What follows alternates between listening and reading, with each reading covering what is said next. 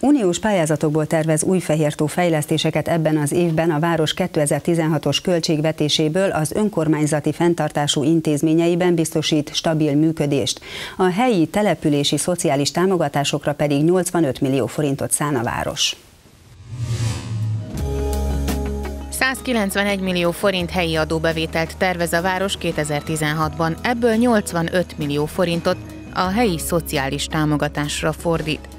Tavaly 3700 gyermek számára nyújtottak rendkívüli gyermekvédelmi támogatást, több mint 1165 év feletti lakhatását is segítették. Az idén a települési támogatások közé bekerült a gyógyszer támogatás, hiszen sok az erre rászoruló, mondta a polgármester.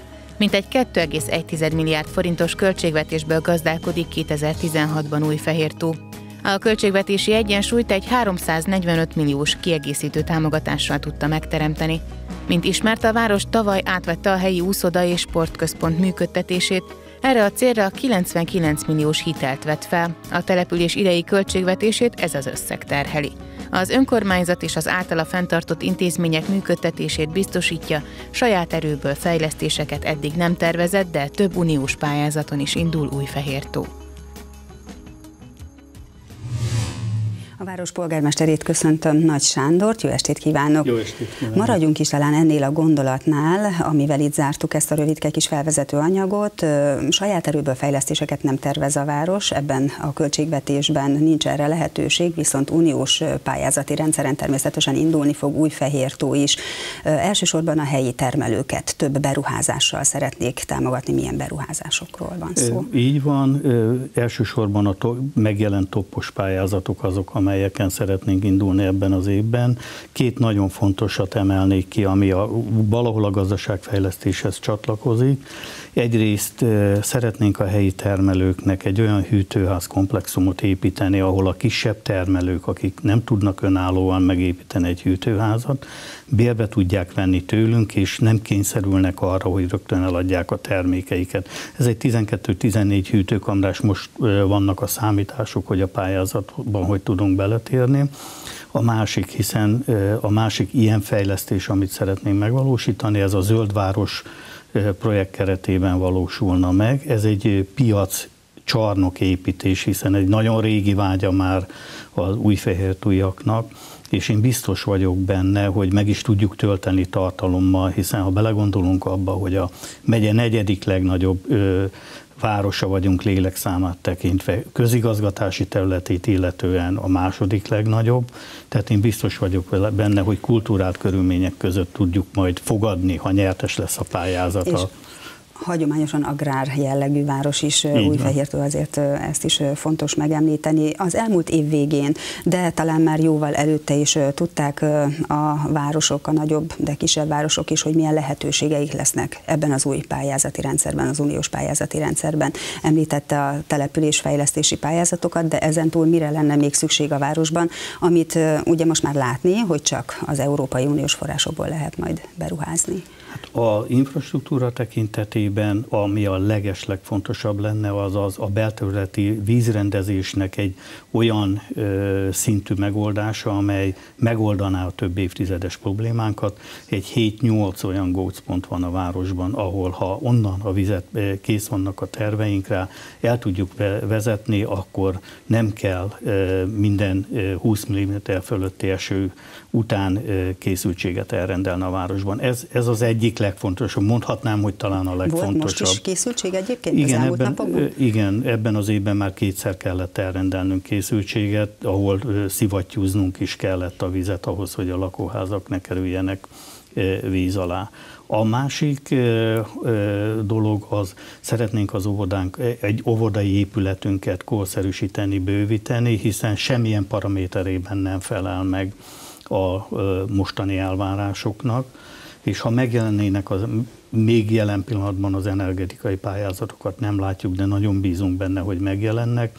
Ott viszont egy olyan általános iskolai épületet kellene felújítanunk, korszerűsíteni, ami 74-ben épült. Állítom a megy egyik legrosszabb állapotában lévő iskolaépület. A saját költségvetése a városnak milyen mozgásteret biztosít önök számára? Azt említettük itt ebben a bejátszásban is, hogy az intézmények működtetése az stabil, ez volt a fő elv a költségvetés megalkotásánál tehát. Nyilván, tehát az mindent elárul, ha azt mondom, hogy az összköltségvetés 10%-a az, ami a saját bevételünk, és az összes többi az a központi előirányzatokból származik. Fejlesztésre abszolút nem lesz lehetőségünk ebben az évben, hiszen az a 99 millió forint, ami említve volt a bejátszásban, az az ezévi visszafizetendő összeg, hiszen 330 millió volt, amennyire ki tudtuk vásárolni a csarnokot. Ami a működtetést illeti, nyilván nem mostani évtizedes probléma, hogy a különböző intézmények működtetésére kapott normatíva az messze nem fedezi ezeknek az intézményeknek a működtetését, hisz ha csak két számot mondok, a általános iskola működtetésére összesen kapunk 18 millió forintot, és ez városi szinten 75 millióba kerül, de nincs olyan, gyakorlatilag jelen pillanatban nincs olyan intézmény típus a városban, amely a kapott normatívából működtethető lenne. Általában olyan 20-40 százalék közötti az az összeg, amivel ki kell egészíteni. Tehát akkor nem elegendő a feladatfinanszírozásra kapott állami támogatás. Milyen intézményeknél látják ezt leginkább? Azt kell, hogy mondanom, hogy az óvoda, ahol kettős finanszírozás van, tehát ott a bérjárulékokat 100%-ban lefedezi a központi költségvetés, viszont a dologi kiadás ott is 20%-ban fedezi a tényleges kiadásokat, amik, amik felmerülnek az intézményeinkkel kapcsolatban. Ugye részben említettük, hogy ez a bizonyos úszoda és sportcentrum még mindig óriási terhet ró, ennek a működtetése, fenntartása az önkormányzatra, hogyan képzeljük el, mennyiért vették meg az elmúlt évben, mennyibe kerül ebben az évben a fenntartása, és hát nyilván ez egy kicsit piaci alapon is működik, ez a konstrukció, mennyit hozhat be a költségvetésbe? Hát amikor elkezdtük számolgatni, hogy hogy jár jobban az önkormányzat. Nyilván a legrosszabb konstrukció a PPP-s konstrukció volt. E, így, hogy most már az egész komplexum, sportkomplexum hozzánk került, annak az ezévi működtetési költsége az olyan 70-80 millió forint között lesz, hisz azért nem tudunk pontos számokat, mert a tornacsarnok most januártól került még át, tehát annak csak becsülni tudjuk a költségeit. E, nem éri el a létesítmény tervezett árbevétele a kiadások 50%-át, de azt mondom, hogy ez már egy jó arány, ha, ha el, el tudjunk érni odáig, hogy az 50% meglegyen. Nyilván a, a másik felét a saját költségvetésből kell hozzátenni, de így is sokkal jobban jártunk, hiszen csak a ö, tornacsarnokra ebben az évben már olyan 140 millió forintot kellett volna fizetnünk a működtetésre és ez még az előző a hitelkonstrukció, amire így gondolt polgármester úr. Van még egy van. szembetűnő szám, ugye a helyi adókból összesen 191 millió forint bevétellel tervez a költségvetés, és köztudott az, hogy az elmúlt évben néhány szociális támogatás visszakerül, vagy átkerült önkormányzati települési hatáskörbe, tehát a helyi szociális támogatásokat nagy részt ebből finanszírozzák az önkormányzatok. Természetesen van egy kis mozgástér igen. itt, de önök úgy döntöttek, hogy 85 millió forintot a szociális hálóra fordítanak. Miért fontos ez a városnak?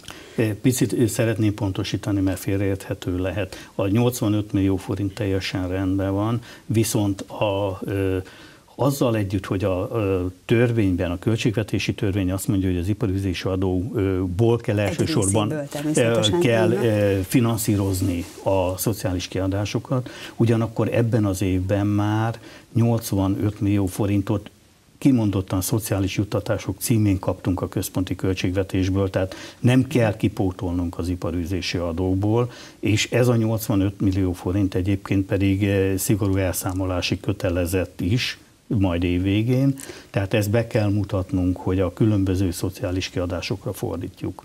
És milyen jellegű szociális támogatásokat ítéltek meg, vagy határoztak meg rendeletben? Jelen pillanatban gyakorlatilag hat jogcímen adunk. De ebből csak néhányat emelünk ki Így van, hat jogcímen új. adunk, tehát ebből én a három újat szeretném kiemelni elsősorban. Kikerült a szociális törvényből a méltányossági közgyógyellátás, mint fogalom. Ezt próbáltuk pótolni azzal, hogy rendszeres gyógyszertámogatási jogcímet vezettünk be. Bizonyos határok között nem szeretném most részletezni, de ez a helyi rendeletünk szabályozza. Egy új és talán egy picit olyan fajta támogatást vezettünk be, amely majd a utánunk jövő generációknak jelenthet valamit.